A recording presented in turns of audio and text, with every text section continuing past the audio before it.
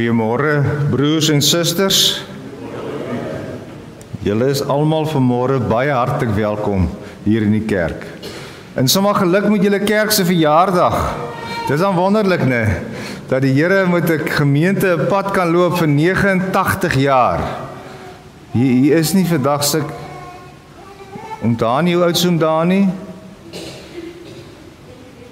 91 om Dani is ouer as die kerk. Hy is ouer as die kerk, maar dis genade, né? Dis genade dat 'n mens so mooi ouderdom kan kan haal. Hy hy wen my skoonpa toe hy laas vir jare toe is hy's nou ook al die kop is al 'n bietjie nie lekker nie. Toe ons hom mooi gesê, oupa is vandag 88 jaar oud. Nou ons is 98 jaar oud vandag. Mag die Here ons saam wees vanmôre seën en vriende.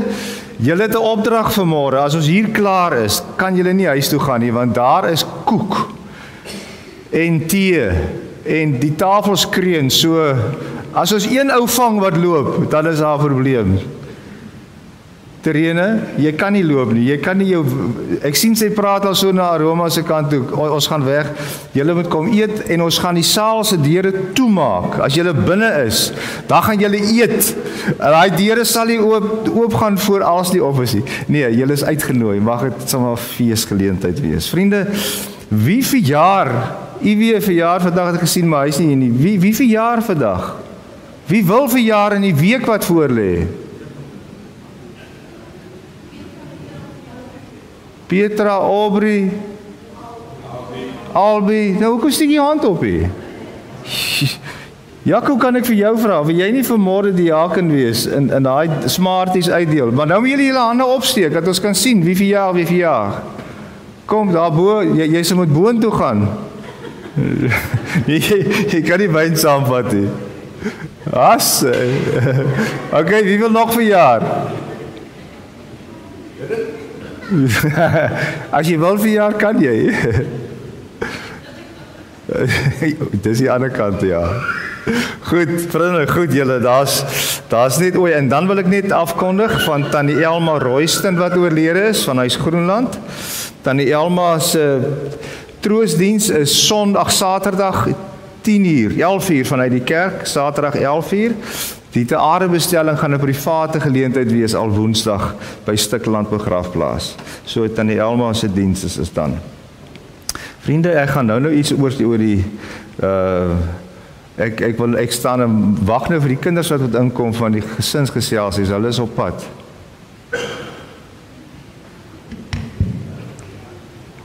Hier kom u weer. Baie geluk u weer met die verjaardag.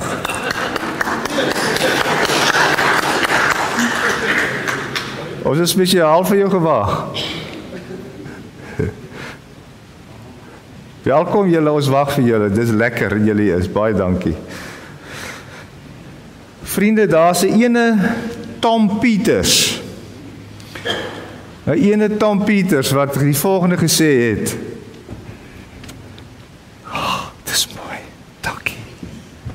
Voor los vir Tom Pieters eers wat. Ons het 'n mooi verjaardagkaartjie gekry van die jong mense, van die kinders. Jogg, dit is so mooi. Liefde en geloof en ek gaan dit hier voor kom neersit. Julle julle moet maar kom kyk daarna. Dis baie baie mooi. Baie dankie almal wat daaraan wat daaraan gewerk het. Ek waardeer dit. Dis ons verjaardagkaartjie. Vriende Tom Pieters het gesê celebrate what you want to see more of en hy praat nou in terme van Hy praat in terme van die kerk. Vier fees oor dit met dit wat wat jy graag meer van wil hê. Nou vriende, nou Vrydag aand het ons nou fees gevier en wat vir my uitgestaan het was die een ding dat ons mekaar nodig het. Ons het nodig om bietjie met mekaar te gesels. Ons het nodig om te hoor hoe dit met mekaar gaan. Ons het nodig om om vir mekaar drukkies te gee. Ons het nodig om baie keer net uit te reik na mekaar op watter manier ook al. En en en in die kerk is nog al 'n plek waar die goed in feeste om uh, ingebou is. Moses het begin. Moses het begin met met met feeste wat hy vir die volk ingestel het toe hulle destyds nog in die woestyn was.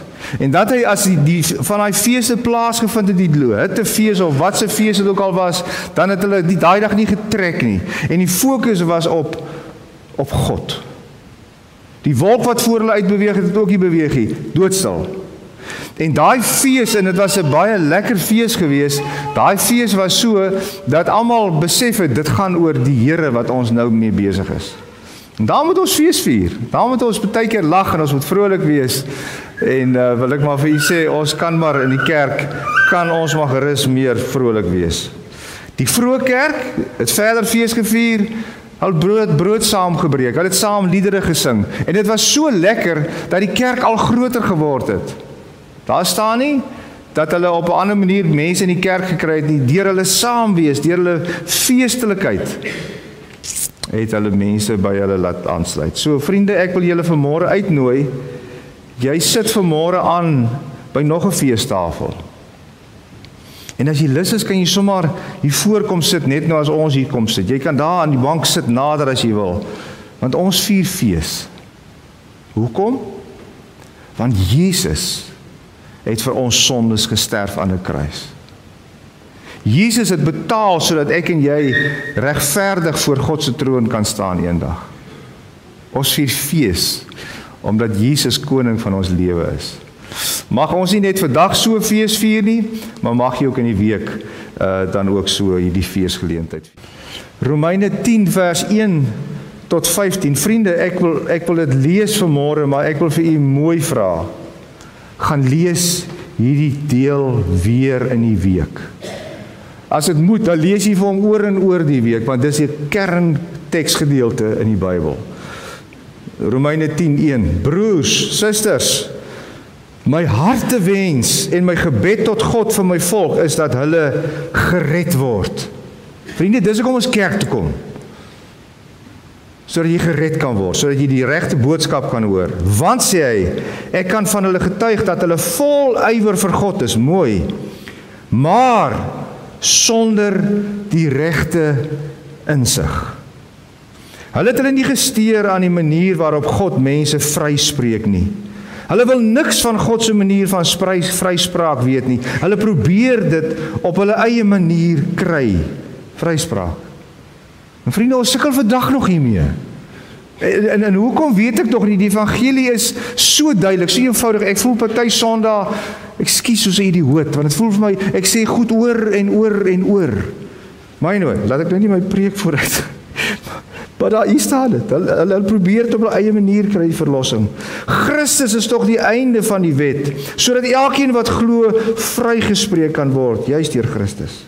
Moses skryf naamlik van die vryspraak op grond van wetsonderhouding dat die mens wat doen wat die wet beveel, daardeur sal lewe. Maar van die vryspraak deur die geloof sê hy, moenie by jouself sê wie sal na die hemel toe opklim nie. Dit is om Christus af te bring. Of wie sal na die onderaardse dieptes toe afdaal nie? Dit is om Christus uit die dood terug te bring. Nee, die skrif sê, naby jou is die woord en jou mond en in jou hart. En hierdie woord is die boodskap van die geloof en dit is wat ons verkondig. Dubbelpunt. As jy met jou mond bely dat Jesus die Here is en met jou hart glo dat God hom uit die dood opgewek het, sal jy gered word. Het jy 'n pen by jou? Wat onderstreep hom om Vader se naam in jou Bybel dat jy hierdie teksgedeelte kan onthou en kan herinner ander daaraan. Met die hart glo ons en ons word vrygespreek, met die mond bely ons en ons word gered. Die skrif sê niemand wat in hom glo sal teleurgestel word nie. Niemand nie. Dit maak dit dis geen verskil of 'n mens 'n Jood of Griek is nie. Want dieselfde Here is Here van almal en hy seën almal wat hom aanroep ryklik. Want elkeen wat die naam van die Here aanroep, sal gered word. Onderstreep Maar hoe kan ek ekskuus julle? Ekskuus, maar ek ek ek ek, ek hoor net so 'n stukkie frustrasie want want ja, party ouens vergeet dit. Maar hoe kan 'n mens hom aanroep as jy nie in hom glo nie? En hoe kan jy in hom glo as jy nie van hom gehoor het nie? En hoe kan jy van hom hoor sonder dat iemand wat preek? Hoe kan iemand preek as hy nie gestuur is nie? Daar staan ook geskrywe hoe wonderlik klink die voetstappe van die wat die goeie boodskap bring. Amen gaan lees asseblief. Ai ou Derek, ek het vergeet, ek het al se julle mooi bymekaar gesit. Vriende, daar was 'n een man met die naam Edward Kimball. Hy was 'n doodgewone ou in Chicago. Hy het in 'n skoenwinkel gewerk. Hy was 'n skoenwinkelassistent. So, wat het hy gedoen? Hy het rakke gepak. En hy het dan seker af en toe die voorreg gehad om 'n skoen te verkoop. Ek weet nie, maar sulke ouens het gewoonlik net rakke gepak en tee aangedra en gevee. Maar Edward was ook ehm, 'n um, sonnaskoolonderwyser. En en Edward het so mooi gewerk dat hy 'n uh, ene Dwight Moody wat 'n bekende prediker geword het. Hy het die saadjie van die evangelie in Dwight Moody se lewe geplant sodat Moody tot bekering gekom het en 'n groot prediker geword het. Moody het in sy bediening het hy weer die woord aangedra na 'n sekere Frederik Meyer. Nou die perd was ook 'n groot prediker gewees. En dis as gevolg van Moody wat hom begelei het om die Here aan te neem. Nog 'n ou wat weer via Meyer tot bekend gekom geword tot, tot bekering gekom het was John Wilbur Chapman. Ook 'n bekende prediker in die ou dae in Amerika, Chicago, daai wêrelde. As gevolg van sy prediking het 'n ene Billy Sunday, hy was ook 'n bofbaalspeler, maar ook 'n groot prediker, het het hy tot bekering gekom en ook die woord van die Here versprei.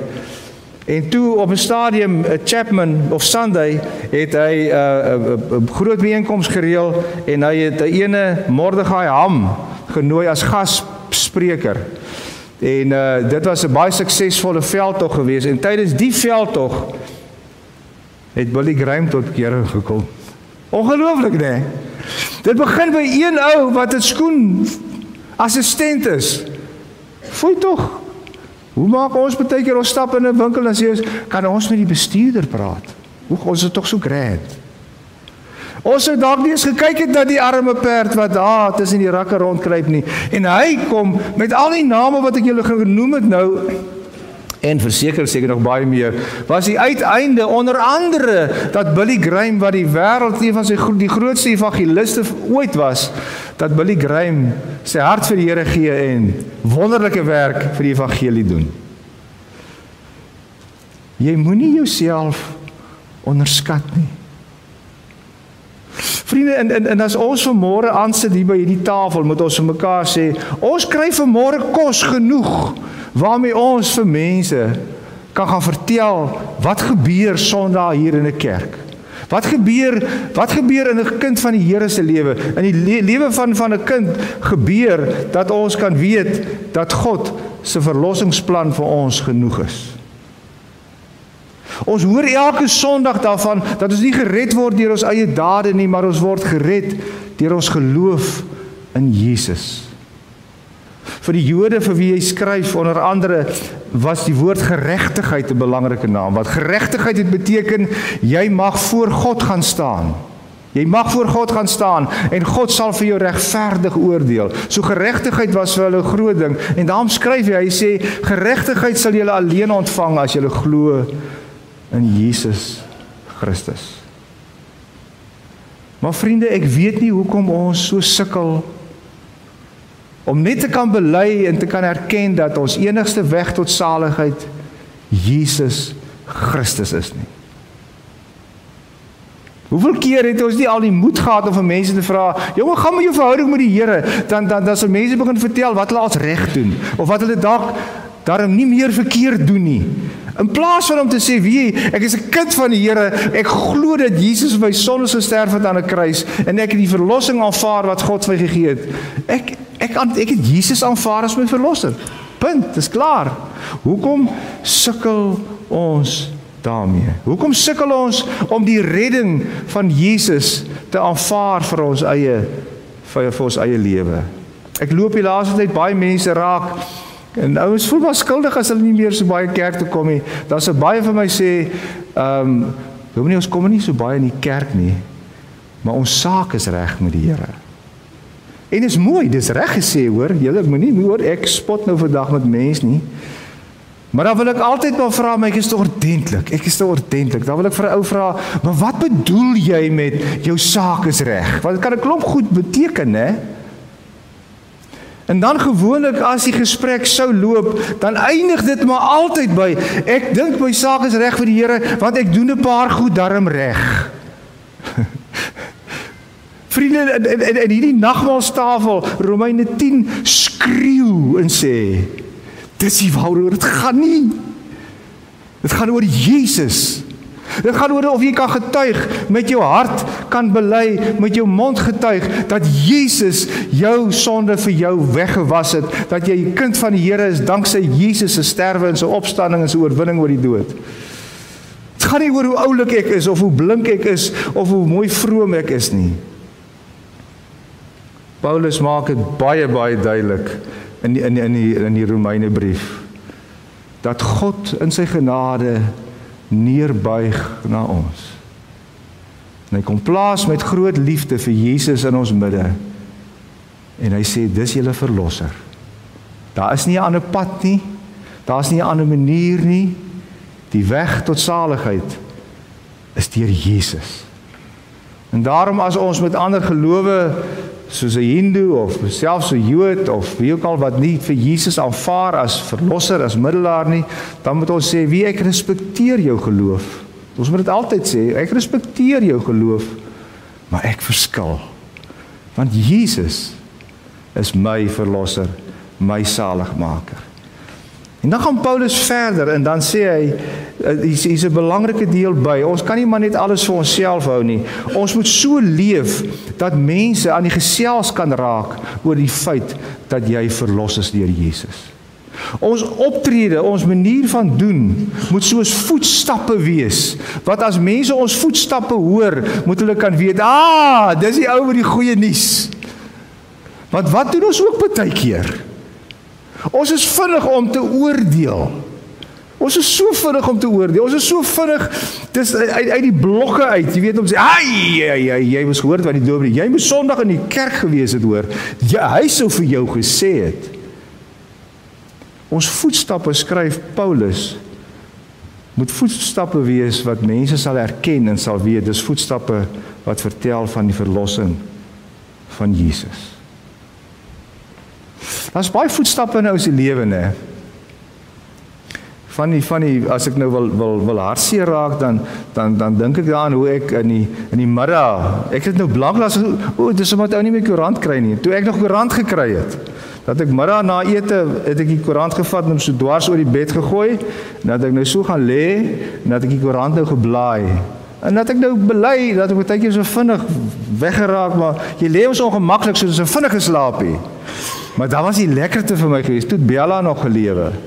As ek so daai koerant vat, dan tip tip tip tip tip tip tip sy vooruit en dan gaan lê sy op die bed en wag vir my. Al lees ons twee koerant. Daai voetstappe hoor ek nou nog. Een van die ander lekker voetstappe in my lewe wat ek hoor is as soggens hier so by 7:00 se kant. Dan hoor ek Karen se voetstappe want dan weet ek dan bring sy vir ons koffie in die bed. Behalwe dan naweke. Knik Nee, jy kan nie so maak nie, jy moet so maak. Behalwe naweke dan hoor sy my voetstappe. My goeie voetstappe dan bring ek dan. Dis so. Die mense kyk vir jou Karen. Vriende, die punt is, dis 'n pragtige beeld wat Paulus gebruik om te sê ons voetstappe moet helder klink en op so 'n manier klink dat mense sal weet ons bring die goeie boodskap. En die goeie boodskap se se grense is nie bepalend maar net tot my naaste nie. Dit moet wees vir die wêreld. Vers 11 is mooi. Dat Paulus skryf, hy sê niemand wat in hom glo sal teleurgestel word nie. Niemand wat glo in Jesus sal teleurgestel word nie. Ek wil afsluit met 'n laaste storie want ek wil hê ons moet lekker gaan tee drink. Daar's 'n storie van ehm, 'n um, bedelaar wat iemand voorkeer in die straat. Hy sê meneer, ek het 'n krisis. Uh kan kan ek kan ek kan ek geld by jou kry en so. Ons almal ken die storie. En toe die man mooi kyk, toe sê hy Petrus, is dit jy? Toe sit 'n ou wat saam met hom jare terug op skool was, maar die man se lewe het uitmekaar geval. En hulle twee raak aan die gesels en en ek wil die ou kry om jammer en hy en hy besef ag as dit dan nou is dat sy ou ou skoolvriend vir hom dan nou inloop, dan is dit reg. Hy het vrede daarmee en hy skryf as gee daarvan checks. Nou skryf hy vir hom 'n check uit. En hy skryf hom 'n cheque van 1000 rand want ek uh, die storie verteller vertel nie waar dit gaan nie, maar hy skryf hom 'n cheque van 1000 rand. Hy sê hy sê Petrus, ek ek ons ons is vriende. Ek ek gee vir jou. Die volgende dag stap hy weer verby en dis Petrus is nou weer op sy ou ou plek en hy en en hy kry vir Petrus. Hy sê Petrus, jy het toe reg gekom met die cheque. Hy sê nee. Hy sê kyk hoe lyk ek. Ek is vuil. Ek stink. My klere is geskeur. As ek met die cheque in die bank inloop. Hy sê ek het gedraai daar by daai deure wat so draai. Ek het gedraai tot daar. Maar toe draai ek om want toe dink ek hulle gaan nie my vir my die geld gee nie. En die ou sê vir hom, "Maar Petrus, dis nie hoe jy lyk of wie jy is wat saak maak nie. My handtekening bevestig dat hulle vir jou die geld moet gee." Dis nie hoe jy lyk of hoe jy dink jy lyk nie. Vriende Jesus op sy verlossingsaanbod is sy handtekening in bloed. En sy handtekening is op 'n op 'n op 'n dokument wat geskrywe is spesiaal vir jou en vir my. Moenie daaraan twyfel nie. Moenie met ander stories kom en sê ek word gered op watter ander goedjies wat ek sou doen of nie doen nie. Jy word gered op grond van Jesus Christus. Of jy dit glo en of jy dit vertel. Want sien die interessante is van die vertel is hoekom praat ons so maklik oor o, dis my verjaardag vandag? Of ooh, ek het geld gewen. Alhoewel ons hoor nie eintlik die lotery, lotery nie want daar's ouens is baie vroom, praat nie daaroor nie. Maar sê nou ou het geld gewen, dan praat mense daaroor. Of sê nou die Springbokke sou bevoorreg wees om die wêreldtoernooi te, te te wen weer vir die hoeveelste keer. Dan praat ons daaroor, maar oor Jesus. Mag ons die evangelie wat lewe gee. Mag hy so oorspoel oor ons lewe dat ons nie anders kan as om dit te bewaar in ons hart en om te praat oor die evangelie oor die lewe nie. Jy en ek sit ook vanmôre saam aan tafel. En die wonderlike boodskap van van God se verlossingsplan het jy vanmôre gehoor in hierdie kerkgebou. As jy vir my sê jy verstaan nie, dan moet ons maar weer praat. Asseblief kom kuier. Maar jy word genooi om vanmôre dit wat jy glo met jou hart en dit wat jy bely met jou mond vanmôre te proe aan hierdie tafel. Jy word uitgenooi. Jy mag vanoggend opnuut God se verlossing deur Jesus aanvaar. En dan wil ek vir jou vra as jy vanmôre die broodjie eet, moenie maar sommer net kou en sluk nie. Dink daaraan dat Jesus se liggaam vir jou gebreek is. Moenie sommer die ou klein glasie wyn of sap wat jy verkies sommer net afsluk nie. Dink daaraan dat die bloed van Jesus betaal het sodat ek en jy kan uitsien na die koms van Jesus. Mag dit 'n geseënde geleentheid vir môre wees as ons aansit aan die tafel van die Here. Here, ons kom vanmôre na U toe en ons wil vir U dankie sê dat ons kan weet U genade is baie groter as wat ons kan dink of droom. U het die seun uit die wêreld toe gestuur en soos wat Johannes duidelik skryf en sê nie om te kom oordeel nie, maar om juis te kom red.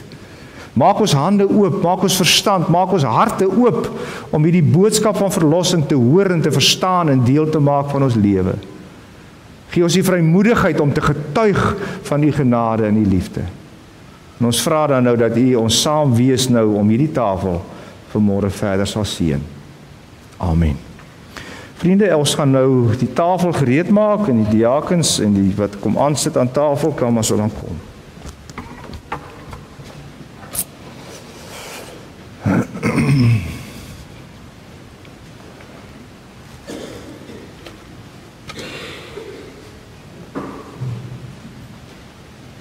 Waar is die vroue?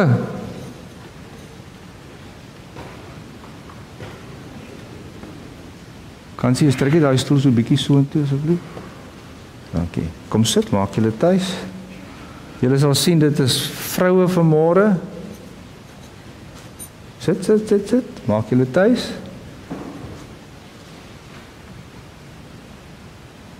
Nou nou nou wat nou? Jorisna, kom sit hier by ons asseblief. Julle kan sit so lank hoor. Julle kan sit. As hy. Dis vreemd die voor, né? Hier is maar. Nee, is ok. Jy daar word gereël vir jou. Nee, jy moet uitdeel. Jy moet uitdeel. Ag, dit is so lekker dat ons was so 'n bietjie te mekaar kan wees. Vriende, ek wil net so die die begin van van die van die formulier lees. Die Here self het die nagmaal ingestel en daarvan getuig Paulus in Korintiërs 11. Hy sê, ek het van die Here ontvang wat ek ook aan julle oorgelewer het. Die Here het brood geneem. Ehm um, hy het die brood geneem en hy het dit geseën. Hy het ook later het hy by die maaltyd die beker geneem en gesê dis die beker van my nuwe verbond gegee vir die disippels, hulle het dit gedrink. Hy het gesê drink dit tot my gedagtenis. En elke keer as julle van hierdie brood eet en uit hierdie beker drink, verkondig julle die dood van die Here. Dan sê die formulier 'n paar mooi goeters. Ek noem dit net vir julle. Die nagmaal is in die eerste plek 'n gedagtenismaaltyd. Met ander woorde, ons dink terug aan die feit dat Jesus sy lewe gegee het en hoe hy gepraat het met sy disippels en die die verlossing, die evangelie verduidelik het. Nagmaal is in die tweede plek 'n waarborg. Dis is is 'n feit soos 'n koei wil ek amper sê. Hier proe ons vandag die liggaam van Jesus, die die die bloed van sy van sy verlossing. Dit is ook 'n viering van die gemeenskap met die lewende Here en met mekaar. Vriende, ons het nodig om te praat met mekaar hieroor. My gaan nie weer begin preek nie. Die nagmaal is 'n toekomsverwagting. Hoekom? Van wat? Van die feit dat Jesus weer kom om ons te kom haal sodat ons in die ewige Jerusalem kan bly. Die nagmaal is in die 5de plek 'n vreugdefees. Jogg, julle, ons mag maar meer lag. Ons mag maar. Ek wil as jy aan hierdie tafel sit, soos jy vanmôre sit, mag jy mag glimlag. Want aarde, dis vir jou, dis verniet, dis gratis. Daarom is dit ook 'n fees van dankbaarheid. Vriende, kom ons maak vanmôre ons oë toe en ons sê vir die Here dankie vir die voorreg Maar as jy vanmôre met 'n ding sit in jou hart wat jy al lank al moes bely het voor die Here, wil jy dit nie maar bely nie. Nou as daar iemand is met wie jy in onvrede leef, gesorteer dit uit. Asseblief. Dit pla jou al lank al. Sorteer dit uit. Kom ons gee 'n paar oomblikke van stil gebed.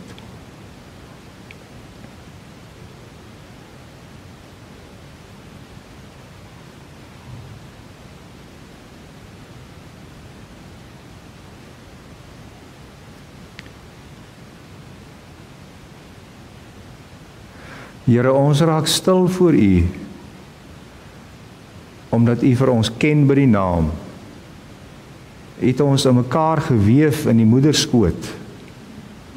En U was lief vir ons voor die aarde nog gemaak is. Nou het U U seun vir ons laat sterf aan 'n kruis sodat ons verlossing kan hê van sondes. Ewige lewe lê vir ons in wag. En U Gees herinner ons gedurig daaraan. Seën vanmôre vir ons as ons aan hierdie tafel aansit. In Jesus se naam. Amen. Vriende, ons gaan eers die tekens uitdeel, die brood en die wyn en uh u hou dit maar by u en dan as ek dit instel, dan gebruik ons dit saam. OK, vriende, dankie. As almal uh, gekry het, dan gaan ons die diakens laat kans gee om terug te gaan. Amen. Hoe moet sy nou voel? Ekskuus Hermine, hoor. Is nog iemand per ongeluk oorgeslaan? Ons gaan vir jou ekstra stukkie koek gee net nou maar. Dankie julle. Dankie diakens of omdat die vroue hier kan sit, is die ouderlinge ook. So, maar dankie vir julle. Vriende, kom ons bely ons geloof. Ehm um, Ek dink is nodig voordat ons eet en drink dat ons mekaar net gou sê ons hoor wat sê Romeine 10, ons glo met die hart, maar ons gaan ook met die mond bely. So as jy party daar nou nie iemand het in wie jy kan bely nie, bely dit hierdie geloofsbelijdenis op te sê. Jy ken dit. Ek lees vir jou voor, jy kan ek dink jy moet dit maar hardop sê. Kom staan. Kom, kom, kom, kom, kom. Ek glo in God die Vader, die almagtige, die skepper van die hemel en die aarde en in Jesus Christus sy enige gebore seun ons Here wat ontvang is van die Heilige Gees gebore is uit die maagd Maria wat gelei het onder Pontius Pilatus gekruisig is gesterf het en begrawe is en ter helle neergedaal het wat op die 3de dag weer opgestaan het uit die dode, wat opgevaar het na die hemel, sit aan die regterhand van God, die almagtige Vader, van waar hy sal kom om te oordeel die wat nog lewe en die wat reeds gesterf het. Ek glo in die Heilige Gees. Ek glo aan 'n heilige algemene Christelike kerk, die gemeenskap van die heiliges, die vergifnis van sondes, die opstanding van die vlees en die ewige lewe. Amen. Vriende, die brood wat jy geneem het, herinner jou daaraan dat Jesus Christus se liggaam gebreek is. Nie sommer net om 'n storie te maak nie, maar dit is gebreek sodat ek en jy verlossing van ons sondes kan kan kry. Neem, eet, sluk en maak die boodskap deel van jou lewe.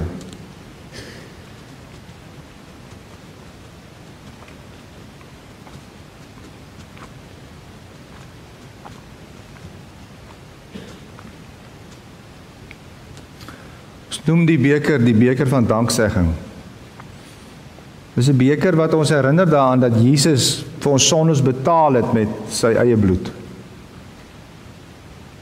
En hy het vir jou sondes betaal. Die Bybel leer vir ons baie mooi as ons ons sondes bely, dan sy getrou regverdig, hy vergewe dit. Hy vergewe ons sondes. Moenie vra vra nie. Dit word vergewe. Aanvaar dit net. Sê vir die Here dankie daarvoor. So neem vanmôre die glasie of beker en drink die wyn of die sap en herinner jouself daaraan dat Jesus Christus klaar vir jou sondes, al jou sondes as jy dit bely het, vir almal betaal het.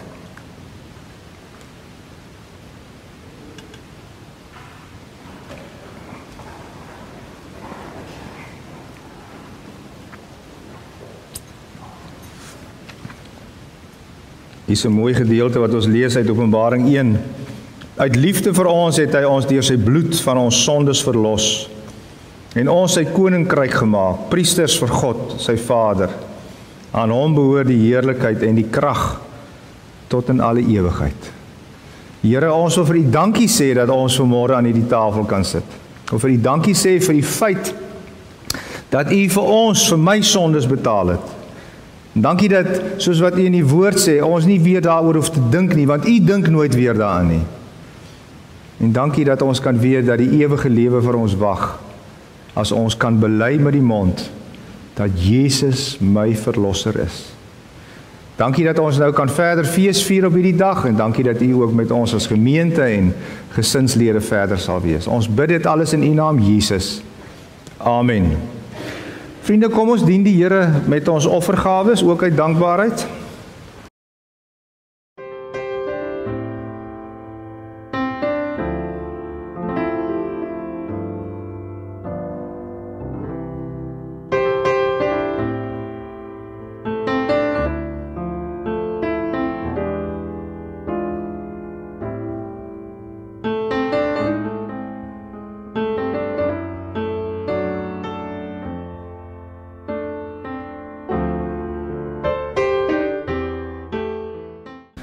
Gaan wees die voetstappe in mense se lewe hierdie week. Gaan herinner vir hulle aan die feit dat Jesus vir ons gesterf het aan 'n kruis. Die dood oorwin het en vir ons die ewige lewe wil gee. Amen. Ons bid nou dat die genade van ons Here Jesus Christus en die liefde van God en die troos van die Heilige Gees met ons sal wees om te kan glo en te kan bely. Amen.